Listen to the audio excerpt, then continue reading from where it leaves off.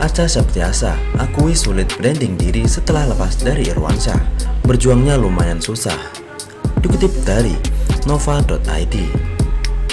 Aca Septiasa kini dikenal sebagai salah satu aktris yang namanya masih bersinar di dunia seni peran. Meski ia sudah 15 tahun berkarya dan mengisi banyak film Indonesia seperti Heart, Love Story, 99 Cahaya di Langit Eropa, hingga terbaru yang akan segera tayang, Laila Majnun. Namun, siapa yang menyangka jika di awal solo karirnya, Aca merasa kesulitan untuk mengubah image. Sebab banyak yang kandung mengenal Aca sebagai Acanya Irwansyah. Saking terus dipasangkan di single maupun film dengan suami Zaskia Sungkar itu. Melepaskan bahwa aku udah nggak duet lagi.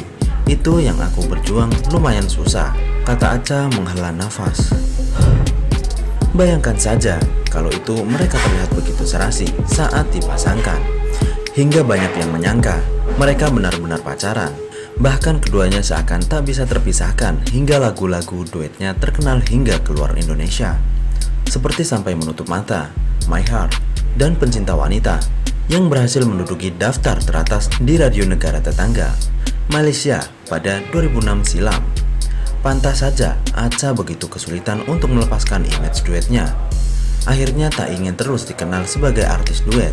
Ia mengorbankan dunia tarik suara dan fokus berkarya di dunia seni peran saja. Agar orang mengenal kembali Aca Septiasa bukan Acanya Irwansyah lagi. Menurut kalian bagaimana ya guys? Tuliskan komentar di bawah ini.